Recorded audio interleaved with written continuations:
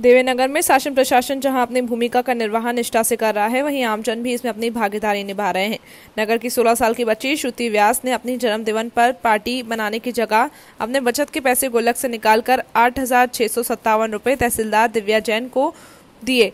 Care fund में जमा करने के लिए दान किए। बच्ची के पिता विजय व्यास भी कोरोना के योद्धा और पत्रकार के तौर पर अपने स्तर पर सहयोग कर रहे हैं। इस छोटी बच्ची के जज्बे को बड़े बड़ों को पीछे छोड़ दिया है।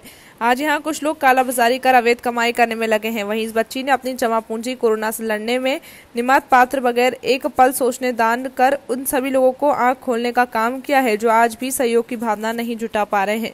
बच्ची के इस जज्बे को देखते हुए तहसीलदार द्वारा अपनी तरफ़ से केक मंगवाकर बच्ची को जन्मदिन का गिफ्ट देकर प्रोत्साहित किया गया। बच्ची के इस प्रयास की सराहना के लिए नगर के पत्रकारों में शैलेश अग्रवाल, प्रशांत जैन, शुभम श्रीवास्तव, डॉक्टर विनोद तिवारी आरपी विश्वकर्मा वीरेंद्र विश्वकर्मा, हरिचरण प्रजापति उपस्थित रहे। देवेंद्र नगर से संवाददाता अशोक विश्वकर्मा की रिपोर्ट।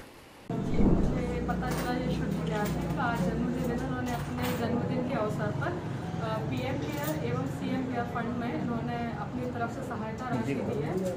इन्होंने को फोड़ा है इसमें समथिंग आठ हज़ार रुपये के लगभग निकला है जो इन्होंने दान दिया है। और हम जिला प्रशासन की तरफ़ से आपको जन्मदिन की बहुत बहुत शुभकामनाएँ देते हैं और आपके उज्जवल भविष्य की कामना करते हैं कि आपने संकट के समय में अपनी जो अमूल्य है तो उसको पीएम केयर फंड में डोनेट करूँ। और आपका कौन सा जन्मदिन?